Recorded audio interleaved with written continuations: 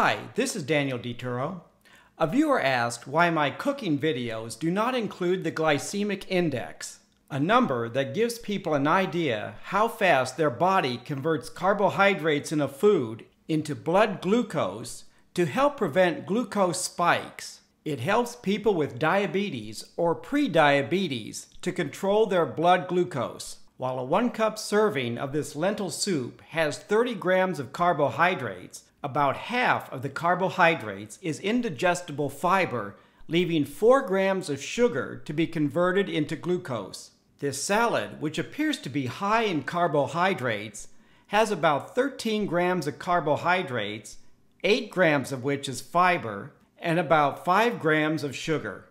On the other hand, just 80 grams of this cake has 38 grams of carbohydrates, only 1 gram of fiber, and 28 grams of sugar. This chicken and vegetable stir fry can be served with or without rice. The type of rice you choose affects the glycemic index. Here are four types of white rice readily available in the United States arborio, sushi, jasmine, and parboiled, also known as converted rice. Arborio rice is typically used for Italian risottos. It's a short grain rice like sushi or sticky rice. While its glycemic index is significantly lower than sushi rice, its glycemic load, which we'll discuss later, is about the same. You can significantly lower both the glycemic index and glycemic load of white rice by eating long grain, jasmine, or converted rice. To complicate matters, the glycemic index is a numerical value assigned to a specific food, indicating how slowly or how quickly that food will increase your blood glucose level. Glycemic index values are available for many raw, cooked, and prepared carbohydrate rich foods. Foods with little or no carbohydrates like fats and high protein meats are not assigned a glycemic index value. You can assume their glycemic index is zero compared to glucose that has a glycemic index of 100. The glycemic index was developed in the early 1980s to determine which foods were best for people with diabetes who needed to control their blood glucose. Subjects fasted for 12 hours and were then given a food with a controlled amount of carbohydrate. Their blood sugar level is measured to determine how quickly the glucose in the food was released into their blood, compared to a controlled amount of glucose. Glycemic index values apply to one specific food, like raw potato, potato chips, or fried potatoes. When you combine high glycemic index white potatoes with other carbohydrates or protein, you can significantly change the food's glycemic index. You can use glycemic index values as a guide to select foods that reduce or prevent blood glucose spikes. An English muffin made from refined white flour has a glycemic index of 77 and a glycemic load of 11. An English muffin made from whole wheat flour has a glycemic index of about 45 and glycemic load of 4. Adding orange marmalade to a whole wheat English muffin doesn't significantly change the glycemic index or glycemic load since they are about the same. Adding high fat and high protein foods to a high glycemic index English muffin reduces its glycemic index and glycemic load. I can't tell you by how much because there are too many variables and no test data. Even among a particular type of food, the glycemic index can vary considerably. 120 grams of raw apple, about 4 ounces, has a glycemic index between 28 and 44. Sweet apples have a higher glycemic index than tart apples. Ripe fruits have a higher glycemic index than unripened fruits. For accuracy, you must know the food's correct glycemic index value. Glycemic index values apply to a specific carbohydrate-rich food eaten alone. Combining foods changes its GI value. It can be higher or lower depending on the type of food.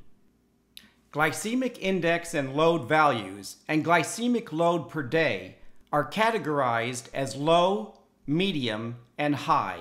Eating foods with low and medium GI and GL values makes it easier to control your blood glucose. Except white potatoes and dried fruits like raisins and dates. Long grain rice, legumes, and milk are also low GI foods. Among medium GI foods is sugar. This may come as a surprise, but you must keep in mind that it's measured against pure glucose, and sugar, sucrose, is 50% glucose and 50% fructose.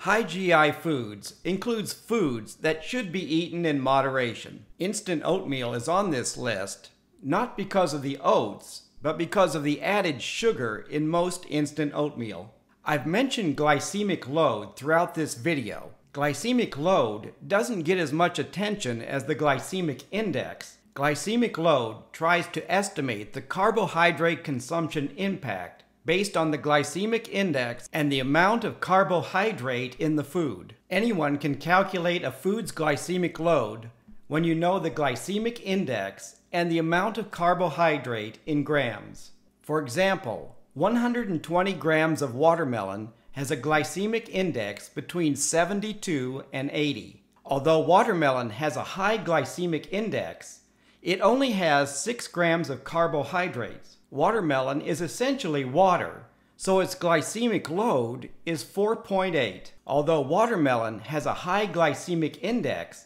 it has a low glycemic load. Americans are told to pass on pasta, but spaghetti bolognese has a lower glycemic index than watermelon. With 48 grams of carbohydrate, it has a glycemic load of 25 placing this food in the high glycemic load category.